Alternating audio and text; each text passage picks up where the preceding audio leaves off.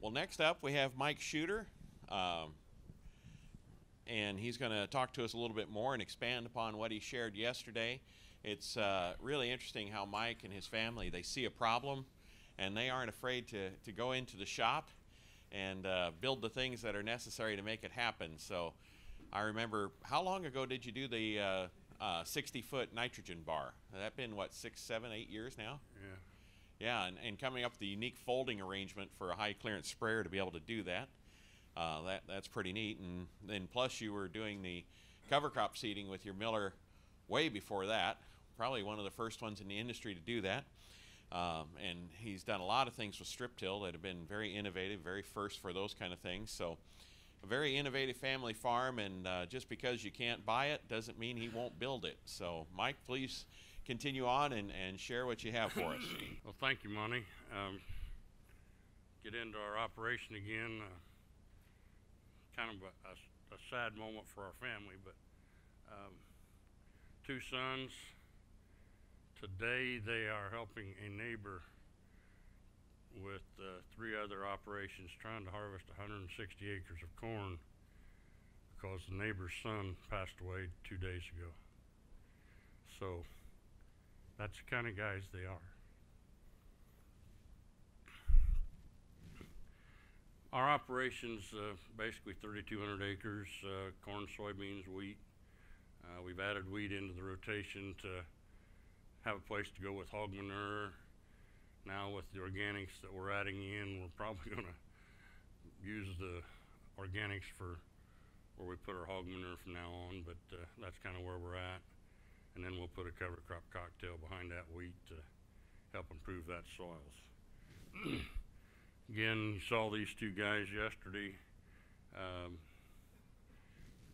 they're just, uh, they're the reason we're doing what we're trying to do, trying to maintain the operation, trying to move it forward. These will be the, the fifth generation on this farm. Uh, my grandfather moved there roughly in, in nineteen fifty. Um, previous, previously he was in the southern, southeastern part of the state and, and the family's farmed down there for many generations before that. But this is the, this will be the fifth generation on the farm ground we're farming right now. That thirty-two hundred acres, we've got about, uh, twenty percent of that, six hundred and thirty acres, I think it is now, that will be in, inorganic, which we've had some organic corn this past year. Uh, and the rest of it will be in transition. We'll have two fields that'll be organic for next year and, or for this year now. We're already in this year, aren't we? So,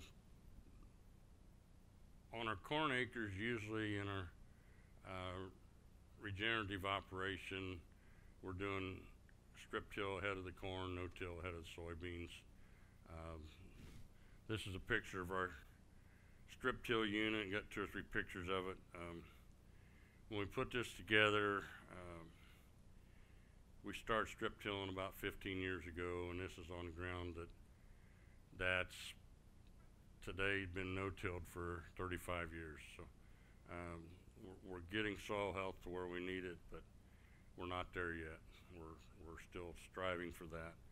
Um, another picture of that unit, uh, you notice the cart behind it, we've got three separate compartments in that cart. Originally, uh, now we're using, uh, potash and phosphate separately in, in those com- compartments, plus we'll use a micronutrient package that, uh, we found that we really like, um, developed by Midwest BioAg, which has, has the base is, uh, the off falls from a bioreactor from a, from a large dairy operation, and they're adding micronutrients to that, so we're using that for a micronutrient package and beginning to think that that's probably more of what we're gonna be looking at is, is we're cutting back on the use of potash and phosphate, uh, all the time, probably gonna eliminate it in some areas, uh, once we get soil health working the way we want it. Uh, but going to more micronutrients, maybe looking at, at some other biologicals that we can put down in the strips to, to help with that. Um, again, this is strip tilling into a 14 way cover crop cocktail. Um, this is the cocktail that we use, uh, use behind our wheat and also we've gotten to the point that we, we put this cocktail mix in, in wet areas. If we have a, an area that drowns out sometime, uh, once that dries up, we'll go in and, and put that cocktail mix in. This is, again, the, the list of the cocktail mixes in there and we've got sun hemp in there, so we're, we're trying to get it ahead of the hemp game too, I guess. Uh, industrial hemp's gonna be available in Indiana, but, uh, I doubt if recreational hemp gets to be available in Indiana very, very soon. You never know how the legislature's gonna handle that one, but, um, but this is the, the mix we're using. We're trying to do cool season grasses, warm season grasses, cool season broadleafs and warm season broadleafs and and every year we use this mix and, and we vary it back and forth. We'll uh, this past year I, I think there were 18 species in the mix this past year. So, um, but we're also looking at them and and some of the species will be more predominant than others in different years. The first year we we used this, I remember the sunflowers were just very predominant. The next year, sorghum sudan grass was predominant, and it probably got six, seven foot tall. So it, it just uh, a lot of it depends on when we get it in, timing we get it in, the rains after that, and and just how things start coming up and and developing from there. And then it's uh, you, you see our organic uh, cocktail mix that we tried this fall. Uh, part of that will be winter killed, uh, but the Austrian winter peas and the Balansa clover, uh, we're hoping to come through the, the winter. Again, this fall was not very conducive for cover crops. I don't know what, what your areas were like, but, uh, cover crops were not very conducive as far as getting off to a good start and, and growing well. So, um, we're gonna have to see where we're at this spring. We may have to go to Plan E or F to, to get our control, weed control for organic, uh, operation this time. A Little, few more pictures of, of what we're, what we like to see. Uh, this is a field of bean stubble that's had, uh, annual ryegrass and annual ryegrass and rape, I believe, in, in this field. Uh, we're actually applying our cover crops and normally in, in the standing crops before we start harvest with the Miller seeder we'll see later. Um, trying to get those established before we even get into harvest. And a lot of times, uh, bean crop, we like to be in there and seeding, um, when most of the leaves start turning yellow, uh, get it seeded and then you get leaf drop on top of that cover crop seed and, and helps hold the moisture in there and, and get a good start with it.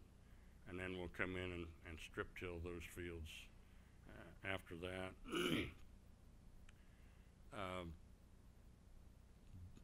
ground that we're going to soybeans with will be seeding cereal rye into the corn, into the cornfields before we, uh, start harvest on those. Uh, we like to start seeding the cereal rye probably the middle of August and, and like to be done with all of our cover crop seeding by the middle of September. That just didn't happen this year. Um, most all of our bean crop had a lean to it for some reason with, with the high winds we've had and, and so we didn't wanna go back into it again because, uh, we've already been in there once or twice with post applications and, and we try to go back through the same passes each time we're in there so we don't do any more damage than we have to and, and this year with it leaning, we just didn't wanna go back into that bean crop and, and had a hard time getting stuff seeded after harvest this year because of the cold, wet, wet fall that we've had. Come spring then, there's a couple pictures here of, of what it looks like when we're planting. Um, This picture here, we have spray terminated this field, but it's not dead yet. Um, and it kind of depends on, on the timing of the spring and, and what, what cards you get dealt that spring as to how we handle things. Because some springs will be able to terminate earlier and end up going into a field of residue that looks like this and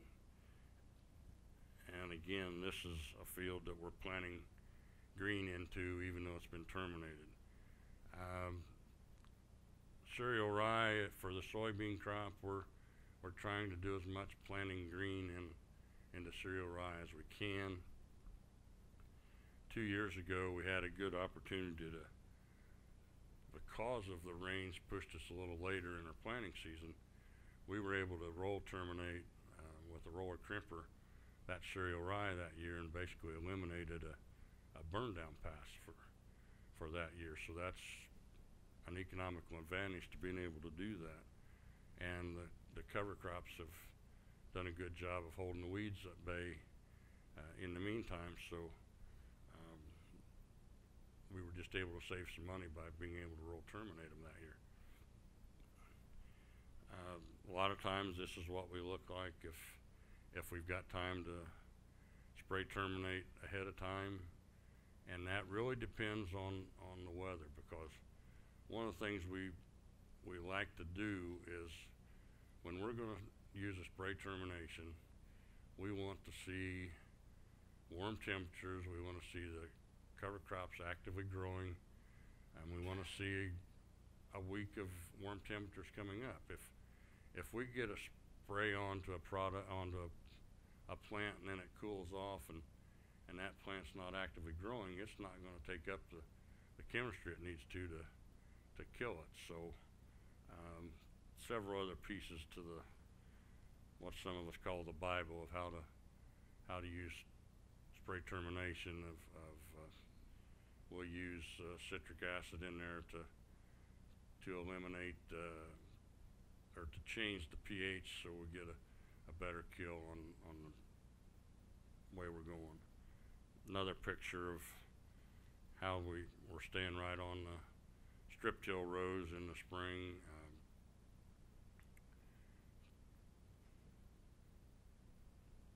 I, guess if I take this picture again, I'll probably need to clean the windshield off so that it doesn't look like we've got birds flying all over the field while we're, while we're planting. I didn't catch that when I done the picture to begin with, but, um, but this is the way we've got our planter set up. We've got row cleaners on the front of it. Uh, we've got two different, on the planter right now, we've got two different fertilizer applications. We're putting a 10-34-0 product down right in the row, two to three gallons per acre. Um, then we're pulling a tank that's that's got 28% in it that we're putting 28% out the back of the planter um, with totally tubular tubes behind the closing wheels and and uh, that 28%'s got some uh, boron product with it that's uh, that's helping to keep that product green.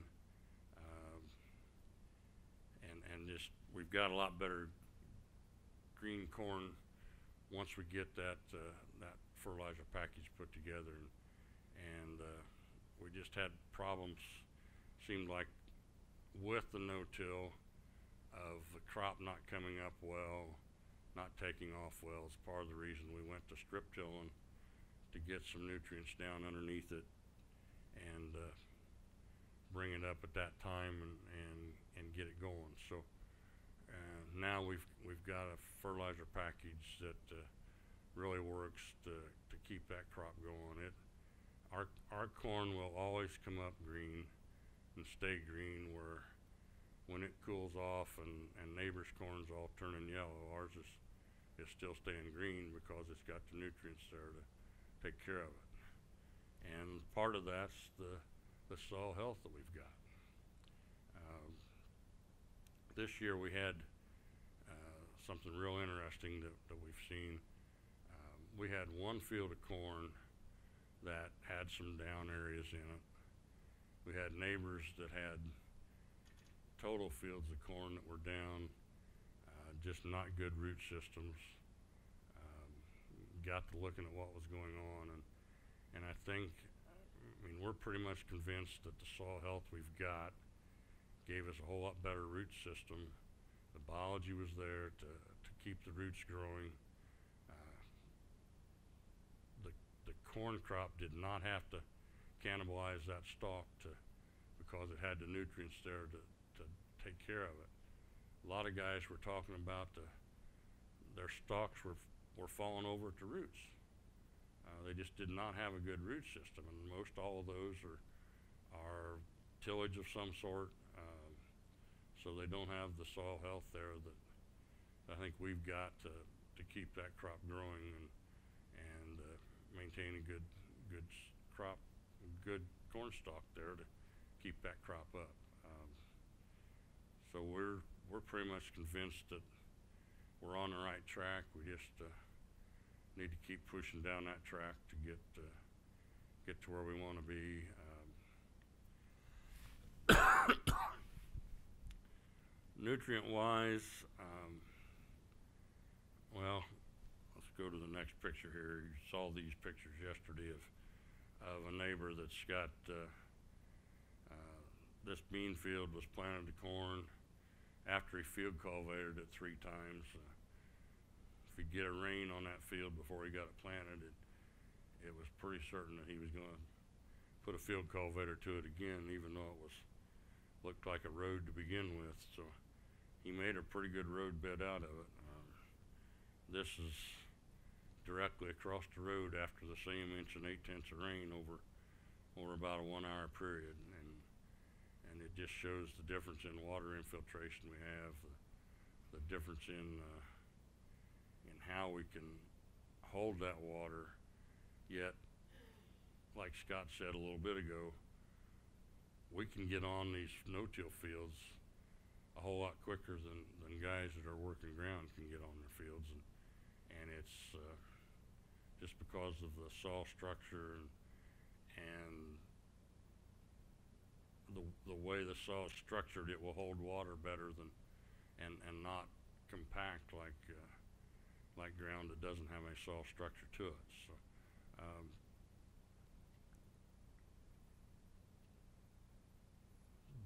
just it's just a thing that to me that uh, neighbors are finally starting to see.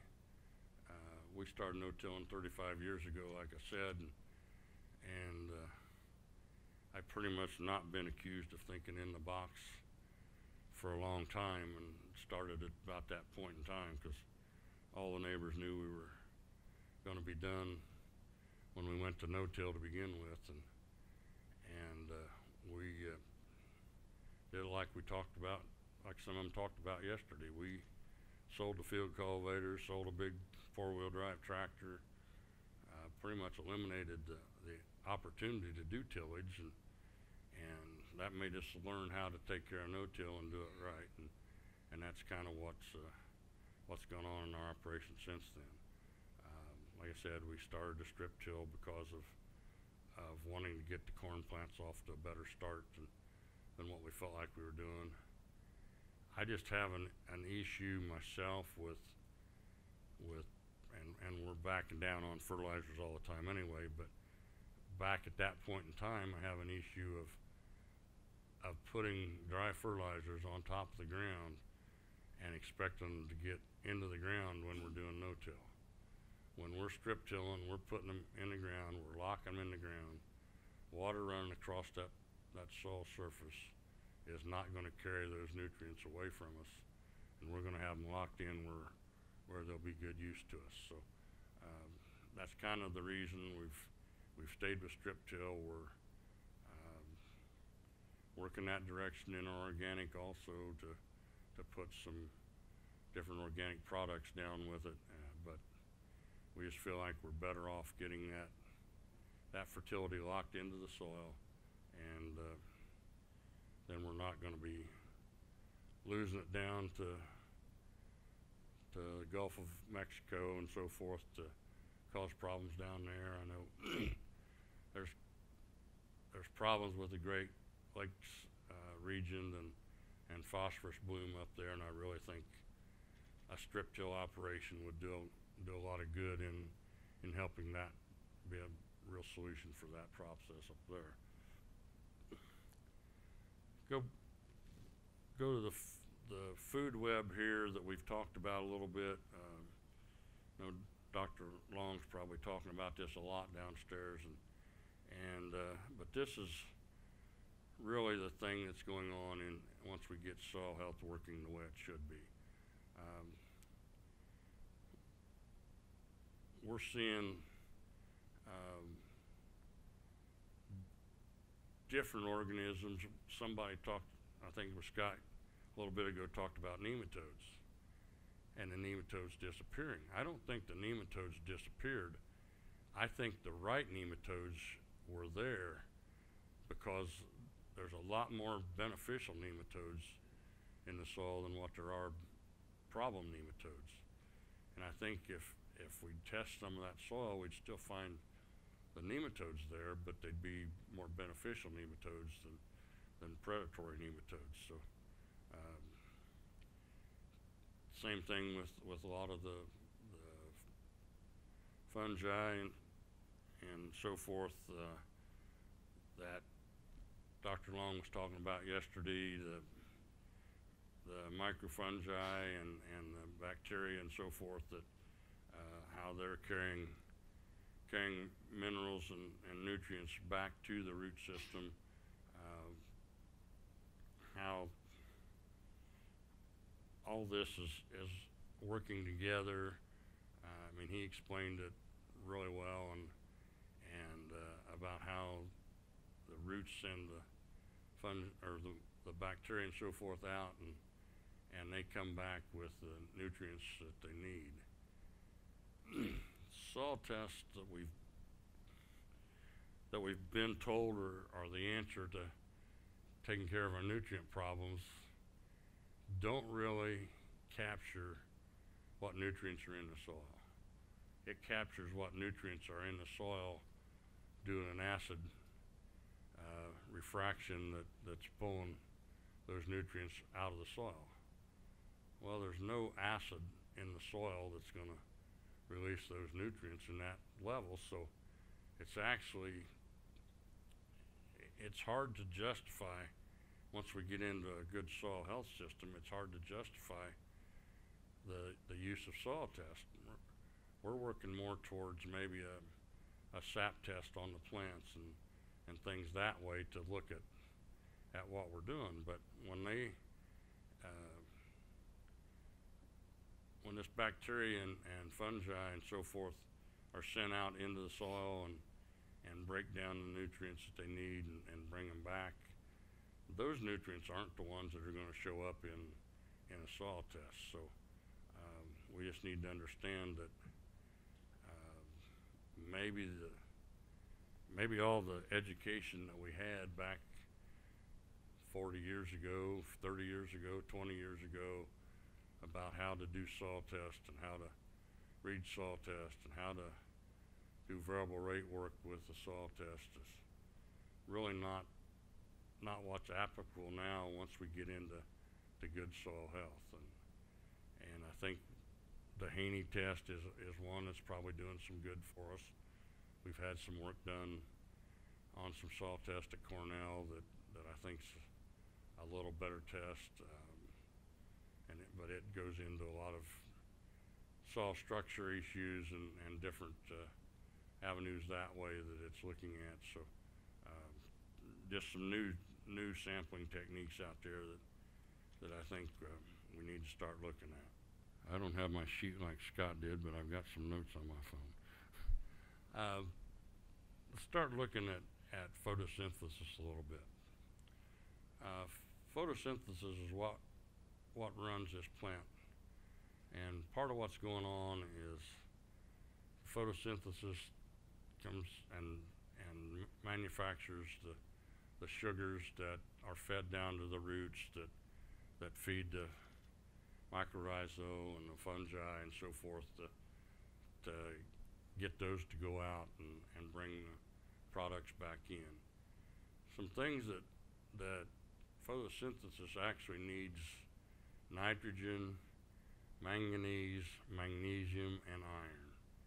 And, and those products are what it takes to, to build that sugar from the photosynthesis, build the energy product that, that that photosynthesis is using to feed the plant. So we're probably looking now at, at doing some maybe uh, foliar applications of some of those products.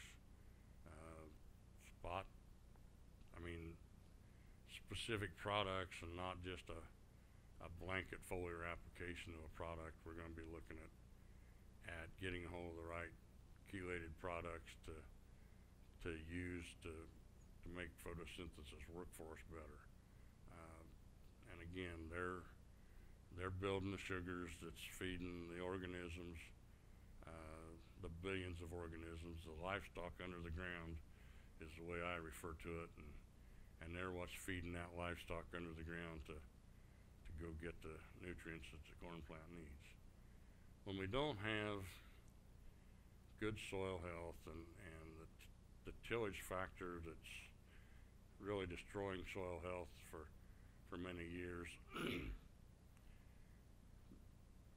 those operations have to apply the fertilizer because there's not the fungi and the bacteria and so forth to, to go out and get it for the plant. So it has to, it has to be flood, flood irrigation under the ground with the micronutrients and, and the nutrients to get those into the plant to, to really feed that plant. When we can do good soil health and, and get that bacteria and, uh, and the organisms and so forth to, to feed that plant out of the soil itself, then we don't have to spend the, the money on, on products we have to put in the ground to, to do that with. I don't know how many of you've priced twenty-eight percent yet this year. A year ago, we paid two hundred and forty dollars a ton for it. Priced to us just last week at three hundred dollars a ton. That's about fifteen to twenty dollars an acre more in nitrogen costs for us this year. Uh, seed corn's probably gonna go up. I haven't looked at the markets yet today too much, but I don't think they're gonna go up a whole lot to help us out on, on the economics of where we're at, so, um, when we can maintain good soil health and start reducing our input cost and, and still maintaining good yields out of it, then that's kinda where we're headed on our regenerative side of our operation. Get into the organic side of our operation. Um, we're using cover crop seeder that we built. Uh, we built this about about uh, 2010. Uh, started seeding cover crops back then in the standing corn. That's tassel high corn. We'll be harvesting that in about three weeks after that picture was taken, probably. Uh, to get those cover crops established and and get them off and going, so we've got good good green uh, green cover there once we get the crop harvested. Another product that, that we've built is a, a 90 foot self-contained cover crop seeder. This unit here, uh, basically, you drop the spray boom off, you go hook up to, to this unit, plug things in, you can be seeding cover crops within 15, 20 minutes of, of when you were spraying. Uh, we don't have to take the tank off, we don't have to, uh, do anything, everything's self-contained, so this is a good unit, but ninety foot's about as big as, as we wanna build that with the, with the boxes we're using. Um, uh, Back to the, the hundred and twenty foot seeder, we're taking a, taking a tank off, we're putting a Salford air tank on it. Uh, that's a self-contained unit that's uh, pressurized where it doesn't have to go through a, a venturi like it does with the Gandy boxes that we're using on the smaller seeder, that we have to have that to be able to blow that seed out to, to hundred and twenty foot. So that takes half a day of conversion from the time we're spraying to time we're seeding. Everything's pretty much on the same boom. Uh, it's just, uh, getting everything plumbed up, uh, once we switch stuff back and forth. Another piece that we built that Monte, Monte talked about, Miller makes, Miller Sprayer Company makes a, a forty foot and a and a thirty foot nitrogen bar. And we decided if we're gonna be post-applying nitrogen, um, a lot of what we're trying to do now is, is putting twenty-eight on with the planter. Uh, we did eliminate anhydrous ammonia, went to all twenty-eight last year, and side dressing with twenty-eight pretty soon after the crop gets up and going. And some fields, depending on the variety of corn, some corn varieties will take nitrogen later than others. We can come in with this unit and put nitrogen on. Uh, I, I've even been in tassel high corn with this unit to put nitrogen on for some, some neighbors that, um, but it, it takes the right hybrids to be able to, to use that nitrogen at that later date. And, and that's one thing we, we need to learn more, more of what we're doing with, with what hybrids. Um, goes back to the, the first speaker we had, keynote speaker talking about plans. We're actually probably at least a year out on our plans to, of, of what's going into that field and, and what cover crops we want in it, what, and the farther back you get, what chemical applications we're gonna make to make sure we don't affect the cover crops we're gonna seed that fall. I mean, that's the kind of planning process we're into now with, with trying to keep the soil health, uh, process going. Um, Again, this, this nitrogen bar is pretty unique in the fact that, uh, it's basically sixty foot wide, but we've got it to where, designed where it can fold down to fifteen foot to go down the road, so, uh, kind of a unique design that, uh, that we've developed to be able to do that with. Keep trying to talk Monte into breaking loose of some money because he really likes the, what that thing's able to do for us, but, uh, he hadn't done that yet, so maybe after he makes all the money on this conference, he can, he can do that, we'll just have to see. On the organics a little bit more, um, this is a, a roller crimper, we don't build this. Uh, this is a piece that we bought, uh, bought through Da- Dave Brandt over in Ohio. Um, That's an, another area that, if you're gonna be getting into soil health, get a network.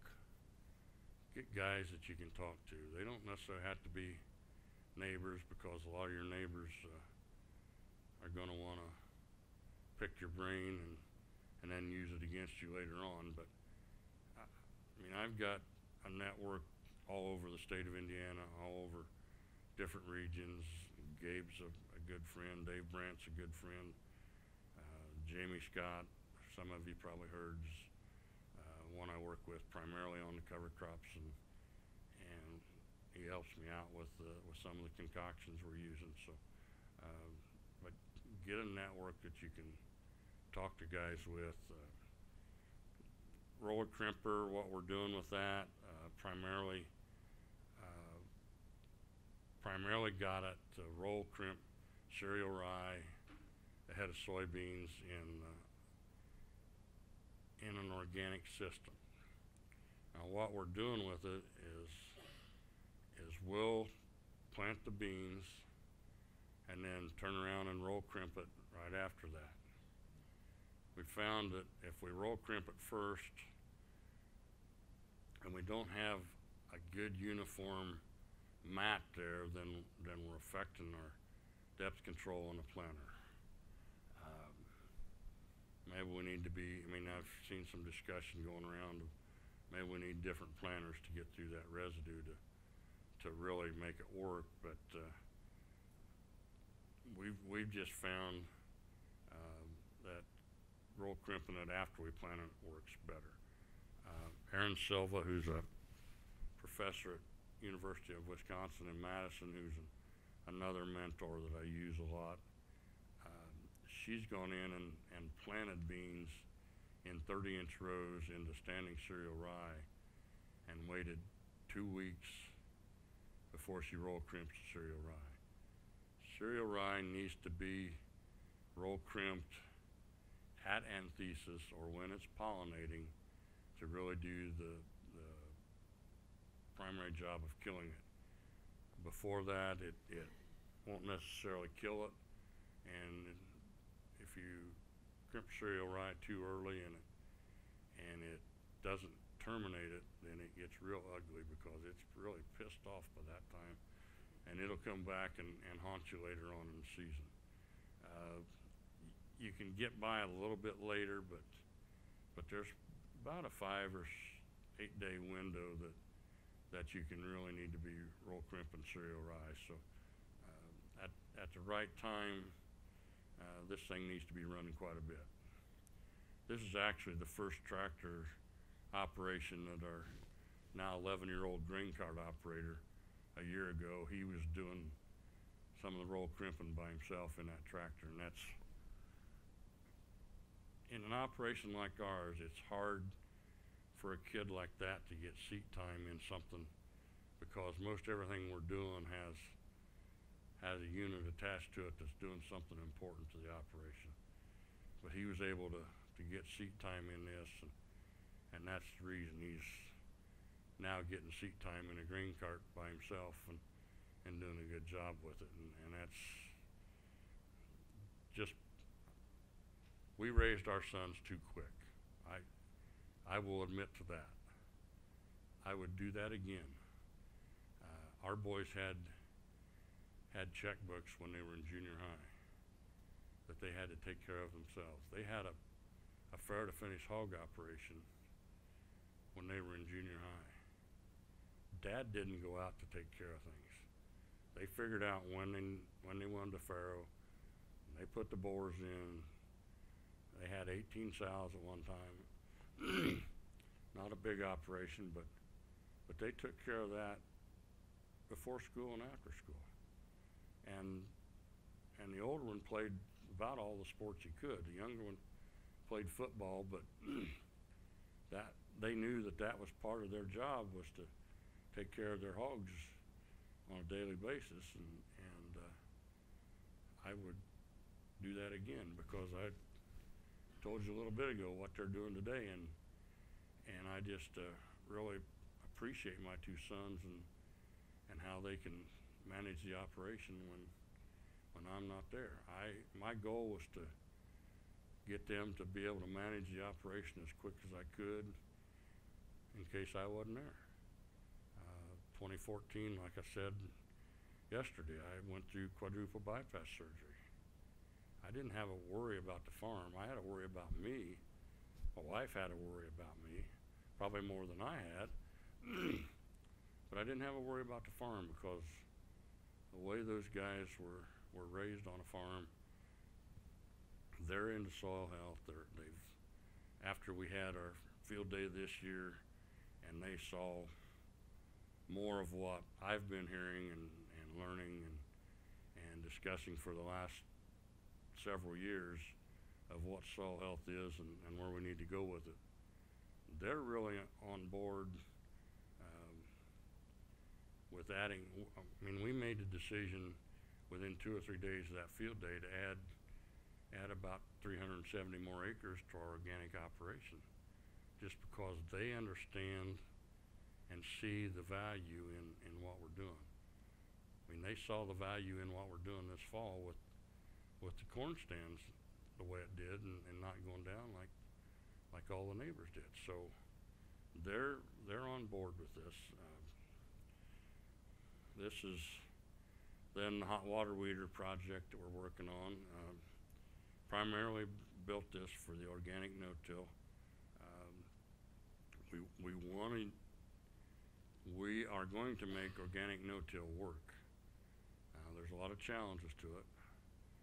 And like I said yesterday, if somebody can figure out a harder way of farming than organic no-till, let me know because it's got a lot of challenges out there. But weed issues are probably the biggest problem, followed by nitrogen sources, and nitrogen sources are our cover crops. And so that backs it down to the weed issues are probably our number one issue. We've looked at, at several different things. Uh, we were headed to put this together for last spring. Uh, had a good friend that had a had a flamer weeder that that wanted us to use it and, and see how it'd work. Um, at that point in time, we were also talking with Dawn Equipment, which we worked back and forth with Dawn quite a little bit. Uh, they were working on a Romo unit, which I thought we were going to have some units of it to to build a unit that we could do some some mowing of weeds in in between the corn rows at that point in time, and that process got slowed down. And because we were expecting some other things, this process got slowed down. So um, we didn't get this process finished till basically the first of September. We had it and introduced it at our field day and and had it in this this field behind the shop here, uh, testing it out a little bit. Uh, we've still got a lot of work to do on on getting it fine tuned, what nozzles we want to use, what water volume we want to use, but where this thing was was tested there in that field, and that's just just grass that's been mowed off, so it's it's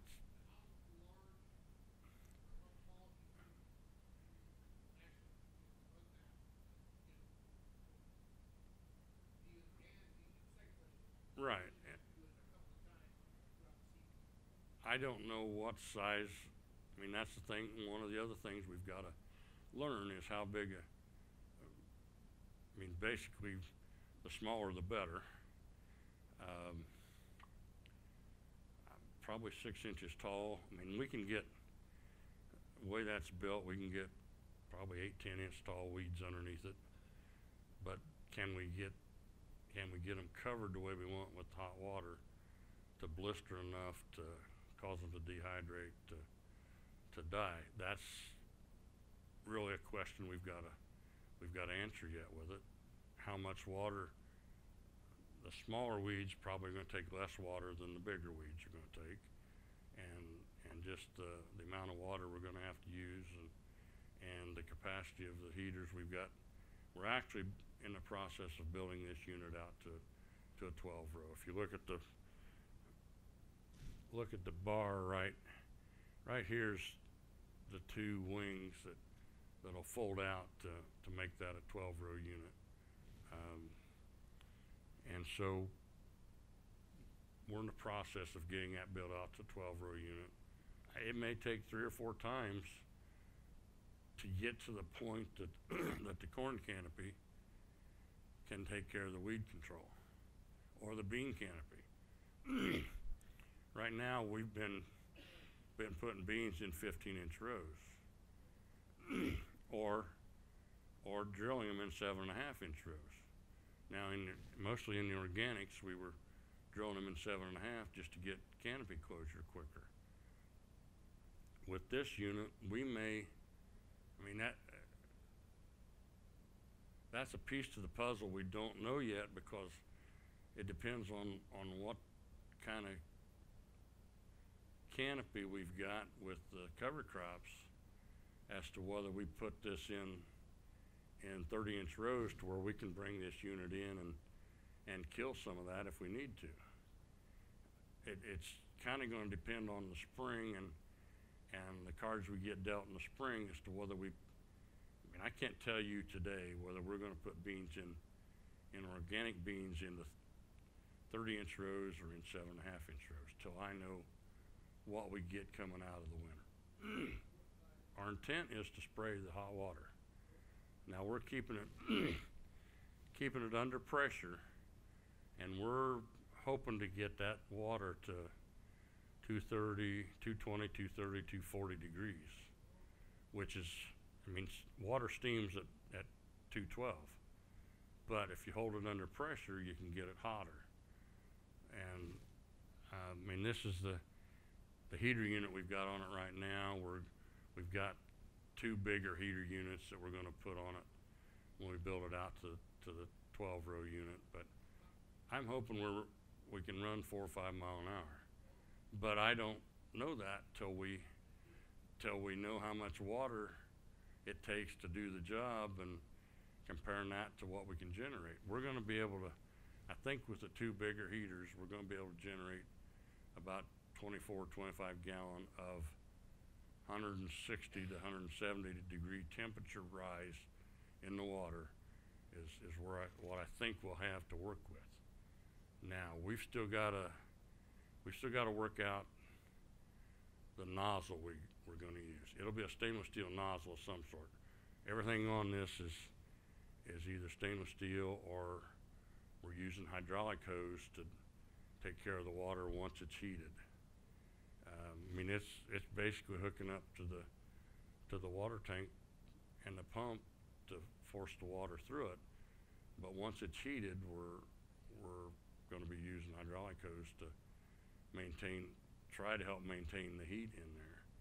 And keeping it sized right to the point that it's moving through there in a hurry and not, not having time to s- cool down. I mean, right now, we're looking at trying to, I mean, things are trying to build for about fifteen gallon water to the acre. Well, that's enough, I, we don't know till we get it in the field, and again, it, it's gonna vary depending on, on weed size, I think, too. I mean, like I say, we can get, um, I mean, there's about, I think, four inches between there that, that that opening's gonna be, plus it's, it's, uh, there's a round pipe across there so that it'll roll bean, roll weeds underneath it instead of injuring them. We're trying not to injure that weed when we, when we get it into that hood. And then that way it'll take that water and, and, I mean, it goes back to you injure a weed that you're putting chemistry on. It's not gonna take that up. So we're trying not to injure that weed any more than we, we have to. We want it dead, but we don't necessarily want it injured. Which goes back to that, that cow on Gabe's place is gonna have one bad day. We hope that weed has one bad day, but we don't wanna injure it before that. I mean, another thing that we could use in there is vinegar is approved for organics. Vinegar's, vinegar will kill basically anything, but the, rates are looking at fifteen gallon of vinegar to the acre, which twenty to thirty percent vinegar is what we need to be using to do that. And we, I was about that close to, to ordering a half a transport or a transport load of vinegar to, to do some burn down with this spring and, and the guy was just not really wanting to deal and, and wanting to get the transportation figured out and, and I was gonna have a crop up before I could get the vinegar sprayed, so we backed off of that, but that's another option of maybe, maybe half vinegar, half water. I, I need to understand the boiling point of vinegar too, to see whether that affects what we're doing, but, um, but that's another product we could use, there's some, some adjuvants that, that might help us along that line too. Like I said, we started down the, the path of, of using the flamer. And we can make a really nice flame about three foot tall over several acres if you get all that residue on fire, which in organic no-till, the residue is part of what we're, we're working towards. So I just done some research. Um, there's some of this been done years ago overseas that, that I saw some, some ideas on. Um, I don't know that anybody's messed with it in this country. Uh, I've heard since we've developed this that maybe there's something out of Australia that's, that's looking at the same thing. I don't know, but, um, it just, it's those four o'clock in the morning brain waves that come through is part of what what got me there, I think. Anytime you, you cut that weed, it's gonna it's not gonna take the next step you're gonna do to it. Right. Um, it was interesting that Scott mentioned the, the tine weeders. Um, that's one thing we've, we've kind of toyed with. Um, I saw them down at the Acres Conference in, in Louisville a month or so ago. Been looking at them a, little bit. Maybe that's something we end up adding between the row units uh, to do a little work in the row. I don't know. We're, we're going to look at that a little bit to see if, if that's another option to help us with what's in the row. Um, also would like to, to look at a, a bio crop of some sort that, I mean, I'm always looking for a companion crop to put into a cornfield. I love buckwheat. I would like to have buckwheat in that cornfield all year long. But maybe there's something we can add into to just that row, row there, the six inches that we've got that was strip tilled, which you're only tilling about an inch, inch or two wide, but maybe there's something we can put in a six inch strip there, cover crop wise, companion crop wise, that, that can help us with the weed control in that, in that row. I mean, that's, to me, gonna be our biggest issue, is, is the in-row, in-row control of, of weeds we're looking at. And like Gabe said, a few weeds, a, f- a few weeds are not the death of everything. Um, I mean, we're looking at, at trying to do organic no-till. We had, the corn crop that we had this year on, on seventy-five acres was, was seventy bushel the acre. Not what we wanted, not what we expected, but with the weed control issues that we had, that's, that's what we got. Well, that corn crop was sold at ten fifty a bushel.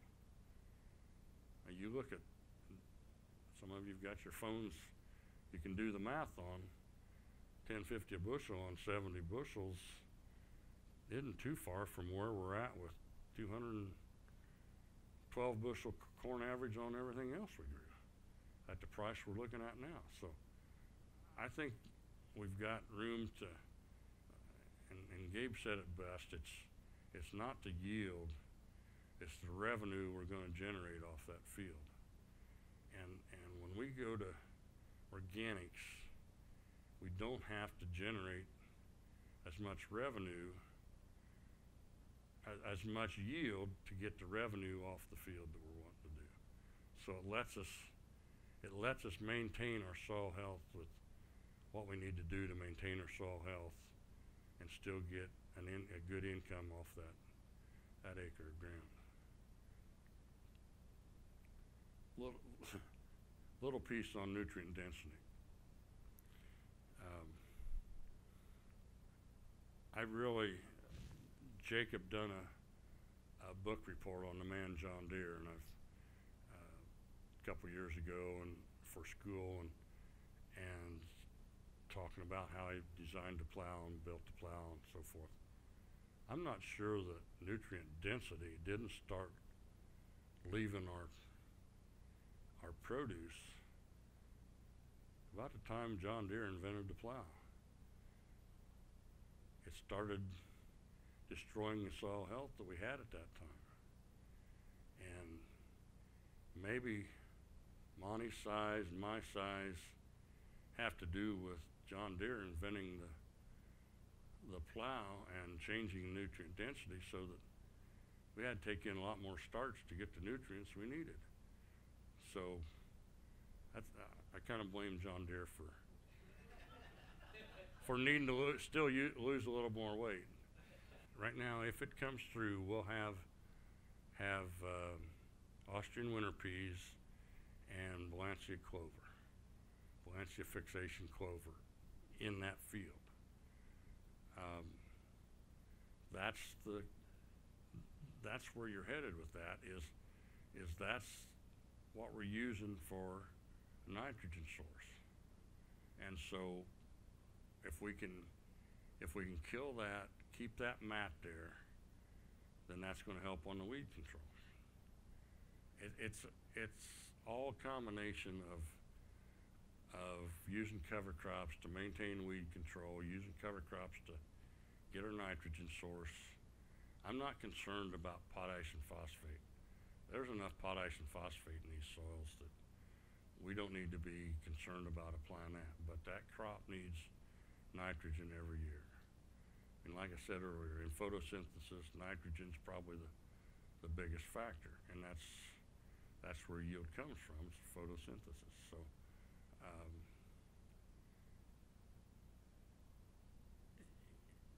it's, it all ties together, I think.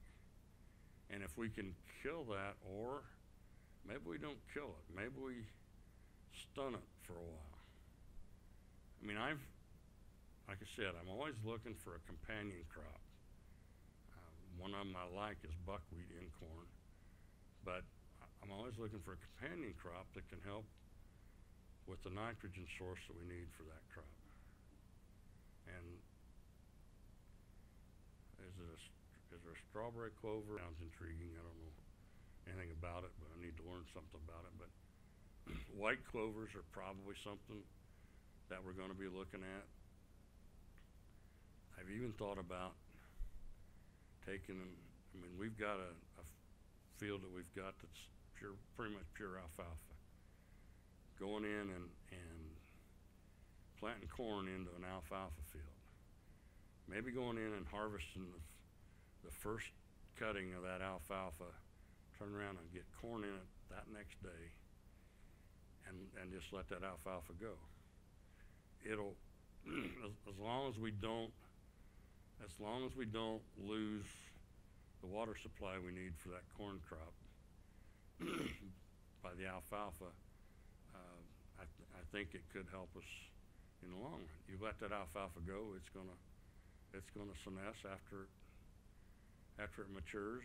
Normally, we're cutting it, so it'll grow again, but if we don't cut it, could it be a companion crop that's gonna be a nitrogen source for us? That's something, encourage the discussion to keep going. It's, uh, about time for me to get off of here, so. Well, I want to take a moment just to thank Mike. Couple of things, just as we're listening there. Um, just uh, that folks that we've got here, like Mike, are proactive, not reactive, constantly thinking. You guys are having all these questions. He's trying to think of things to do, and and then he's implementing them and testing them. The other thing that he said was crop planning. Uh, this stuff doesn't happen without him thinking several iterations ahead as to what he wants to do. And we find that key in what we're trying to do. And the last thing that I think is uh, the reason why a lot of us are here is that legacy and him talking about leaving that legacy for his family, that he wasn't worried about his farm. And um, that's a lot of what we're trying to focus on too, is being able to leave a legacy for our family, our kids. Um, I'm I'm on a century farm myself, so I have a I have a great appreciation for that. Um, and so um, also he said uh, we are going to make organic work. He didn't say we're trying to figure it out. He said we're going to make it work. So uh, that was neat.